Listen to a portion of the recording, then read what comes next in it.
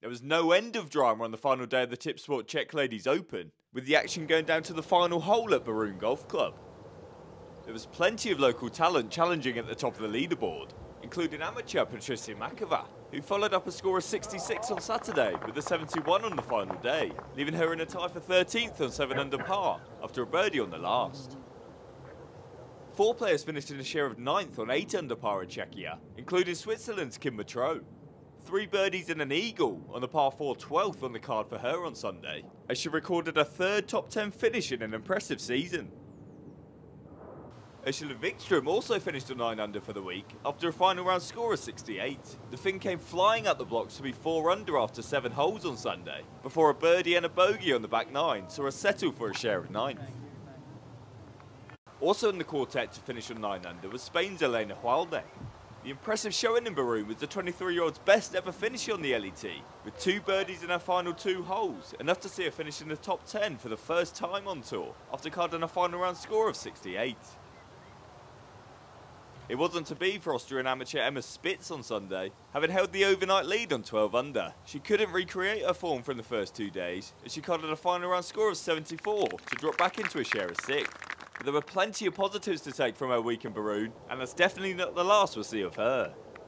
Spitz finished alongside Luna Sobron on 10 under for the week, with a final round 69 enough to secure the Spaniard a third top 10 finish of the season. Moving into the top five now, and that's where we find Laura Gomez Ruiz. As a Spaniard, who tasted victory on the Santander Golf Tour last week, recorded her best ever LET finish after a final round of 65. That saw her finish on 11 under for the week, with an eagle in the last enough to seal the deal.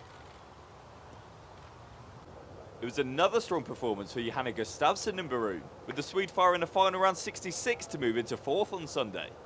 After being two over after six holes, she came soaring back into contention with eight birdies in her final 12, included on each of her final three holes.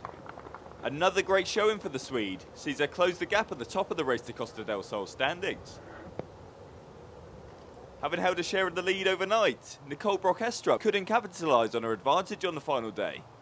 The Dane could only manage a score of 71 on Sunday, with this birdie on the 17th enough to take the competition down to the wire. But a missed birdie chance on 18 would ultimately see her have to settle for a share of second spot. Saw her finish alongside home star Klara Spilkova. Two birdies in her final two holes, including this on the 18th, saw her finish 2 under for the day, a 13 under for the week, and a performance that delighted the home crowd.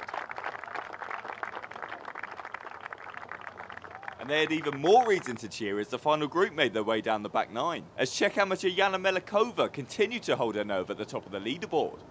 After five birdies in the first 10 holes, the 24-year-old had a four-shot advantage at one stage on Sunday, before three consecutive bogeys saw things tighten up heading into the final stages. A crucial birdie on the 17th was enough to seal the deal for Melichova, who secured a magical victory in front of her home crowd, having come into the week ranked as the 105th best amateur in the world.